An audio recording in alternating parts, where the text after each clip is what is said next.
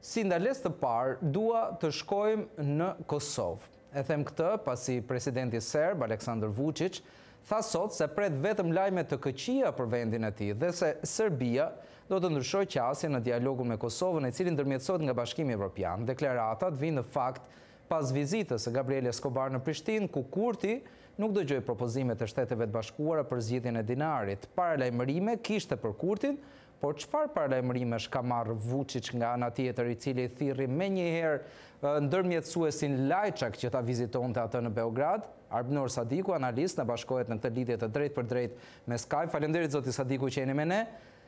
Cilat janë lajmet e këqija që pret Aleksandër Vuçiç me atë që deklaroi sot? Po praktikisht për të gjithmonë janë lajme të këqija, domethënë avancimi i statusit të Kosovës në raport me mekanizmat ndërkombëtarë, për të faktikisht gjithmonë ka qenë një le të themi problem për faktin që Kosova në një formë ose në një tjetër ka qenë më avancuar jo vetëm në aspektin ndërkombëtar, po edhe drejt pranimit më falni për këtë ndërprerje. Faktikisht për faktin që jo vetëm që kemi pas pranim në organizatat ndërkombëtare, po edhe kemi pasur një status le të themi më të avancuar të Kosovës në këtë drejtim. E drejtë, por çfarë mund të themi ne krahasuar me faktin se deri më sot kemi dëgjuar gjithkënd të analizojë që Kurti është në shenjestër dhe jo Aleksandër Vuçiç. Ky i fundit madje nuk po merr sanksione as për Banjskën për ngjarjen e 24 shtatorit. Po faktikisht bashkësia ndërkombëtare pret që t'i kryjë së pari realisht detyrat Kosova, në kuptimin e asaj që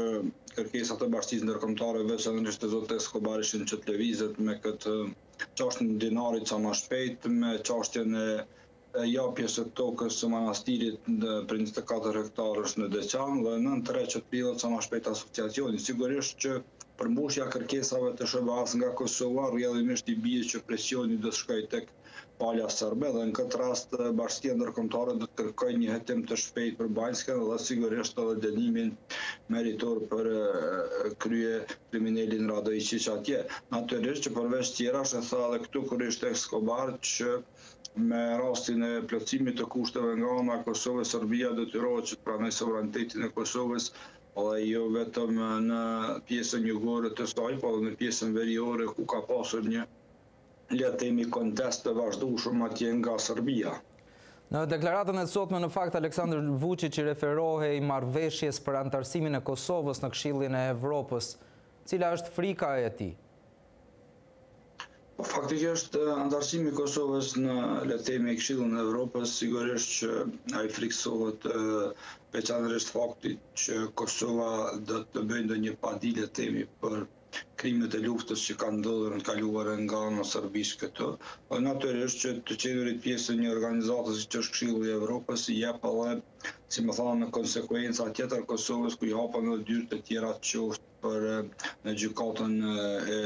Evropiane të Drejtësisë dhe kësisoj ka pastaj edhe hapje që Gjitha vendet duket që janë pjesë e Këshillit të Evropës edhe në aspektin kulturor përfitojnë për shkak se kanë drejtë që të marrin le të themi pjesë edhe në Eurovision si shtete të pavarura dhe domthon përmbushja e këtyre kërkesave politike nganjëherë ka edhe përfitime të tjera që janë të një natyre tjetër, po që i bajnë le të themi një promovim shtetit këtë rast siç është Kosova që ka shumë nevojë për një gjë të tillë pasi që dihet kontestohet nga një pjesë e e vendeve të fuqishme siç është Rusia dhe Kina dhe disa vendeve të BE-së, natyrisht edhe Serbia si vend në mosmarrëveshje me Kosovën.